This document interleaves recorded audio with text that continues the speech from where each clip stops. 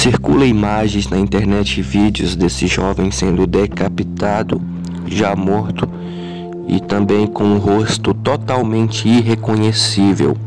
Na realidade, a única forma de identificar esse jovem foi pela tatuagem de dragão que ele tinha no tórax, né?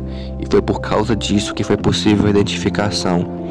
O que parece a briga ocorreu por conta da facção criminosa FDN contra a facção criminosa Comando Vermelho. Pelo que parece, uma guerra entre facções que acabou levando à morte desse rapaz aí. Eu vejo muitos comentários na internet dizendo que tudo bem ele morrer dessa forma e que não tem problema algum, que não pode ser o inocente. Claro, se o inocente morrer dessa forma é muito pior, mas desejar um tipo de morte assim para uma pessoa que você nem conhece na internet, eu acho uma barbaridade muito grande, tá?